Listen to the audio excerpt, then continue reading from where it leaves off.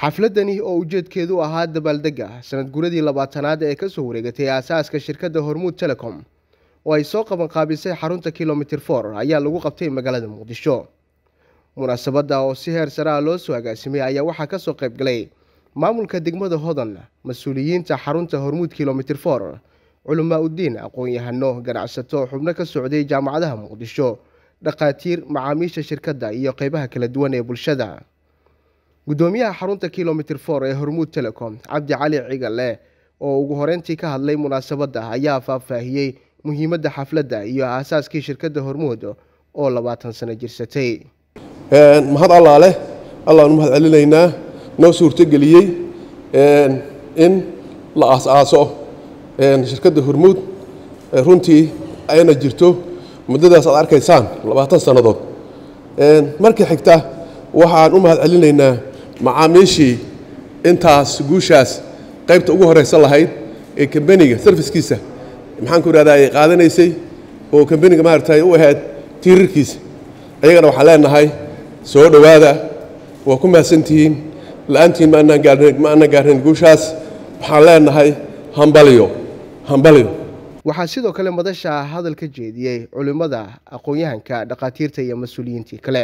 Marka maanta inaan u dabaaldegayno sanad guurada labaatanaad shirkadda hormuud oo runtii yacni wax badan ka beddeshay isla xiriirkii bulshada oo hadda maanta aan loo baahnayn culayskaas hadda aan ka sheekeeyey oo ama dadkeenna bannaanka jira ha ahaado ama dadkii gudaha ku jiray oo isgaarsiin la'aan u mari jiray intaasoo dhib ah in yacni la helay isgaarsiin casri ah oo maanta adduunka meel kastood joogto adoon baawuurna raacin qolkaaga fadhiga iska fadhiya daafaha adduunka aad kula xiriiraysid in labaatan sanada ka soo wareegtay.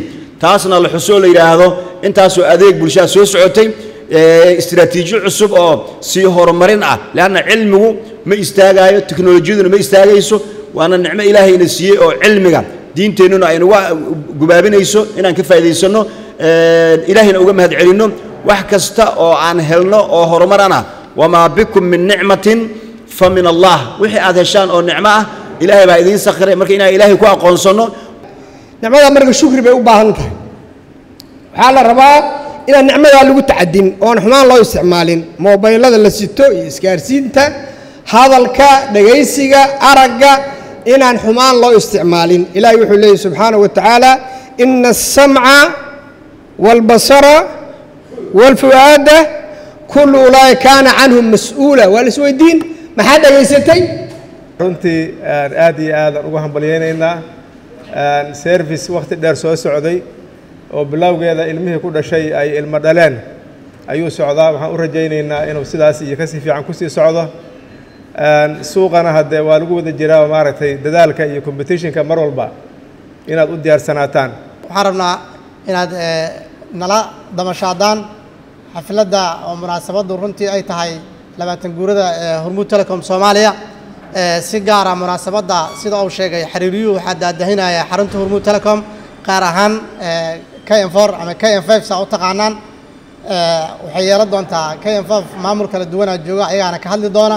Aniga doorkayga wuxuu ahaa runtii inaan idinka raalligeliyo hadday dhaceen. Waxyaabo la xiriiray habka soo xaadirka iyo habkii xafladda bilowgeedii waxaan leenahay aad iyo aad aa umahadsan tihiin. Si gaara runtii waxaa fiicneed qof kasta oo adinkeeda ka mida inaan magaceeda sheegaa fiicneed laakiin wakhtiga ayaan ii saabaxayn dad badan baa isoo fiirinaya.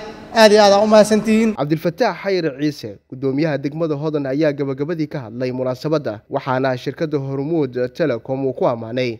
Muddadii labaatanka sano ahayd ee ay bulshada u adeegaysay isagoo ku booriyey dhabar adeega iyo daacadnimada ay labaatankaasi sano ku soo shaqaynaysay runtii wax badan hormuud hormuudaa laga hadlay oo maanta labaatan sano jirtay marka kood waxaan leeyahay hambalyo runtii waa una hambalyeynaya shirkadda isgaarsiinta oo maantay labaatan sano jirsatay ama anniversarigeeda ay tahay. Runtii maantana waxaan dhihi karnaa hormuud oo markhaati aan ka wada noqon karnaa waxa ay tahay isgaarsiinta iyo teknolojiyada xagga dalka maanta laga gaarin iyadana qayb weyn ay ka tahay waxaa kaloo la soo maray marxalo adag oo maanta aan la gaarin oo ka soo wareegatay labaatan sano oo aan hore loo gaarin ay maantay hormuud guud ahaan dalka iyo gobolladaba ay ka kaafiday. Runtii mar kaleeto waan u hambalyeynayaa dhammaan macaamiisha shirkadda hormuud iyo dhammaan inta isticmaasho iyo sheeg adeega hormuud. Zakariya axmed muuse t v-ga shabeelle muqdisho